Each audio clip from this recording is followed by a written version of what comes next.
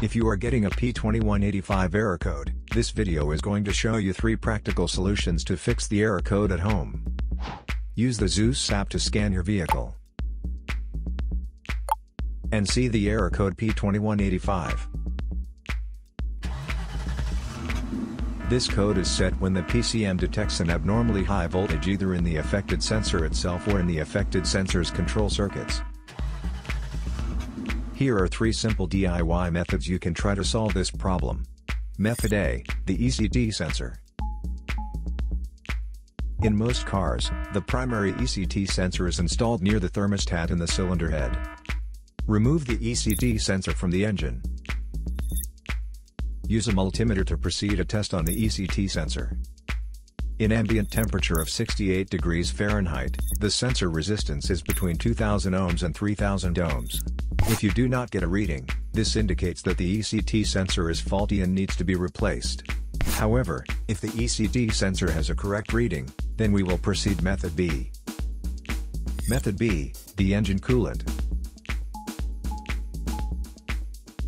Engine coolant reservoir is often a translucent white bottle, and the radiator is the large panel at the front of the car. Cool down the engine, and remove the radiator cap. Locate the radiator lower hose. Place a container underneath the hose. Remove the hose and allow the coolant to drain. To better drain out the used coolant, start the engine. And turn the temperature control to maximum heat.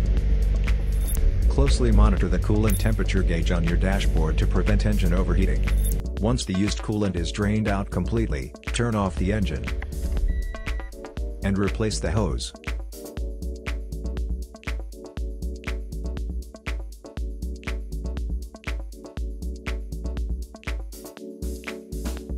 Next, add fresh coolant to the radiator until it reaches the base of the filler neck. And then take off the cap of the coolant reservoir, fill it with fresh coolant, not exceeding the full line. Then replace the cap. After filling, start the engine, and let it idle for a few minutes to let the system purge all the air out. And then add coolant as needed. Replace the radiator cap.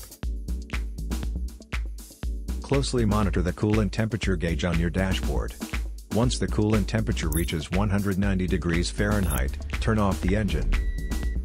After the engine has completely cooled down, remove the radiator cap and add coolant to its full level.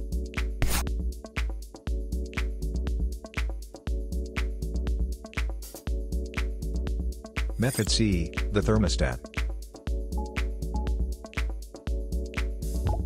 In most cars, the thermostat is placed near the water pump on the cylinder head. First, carefully remove the thermostat from the engine. The engine has to be cool before attempting the process.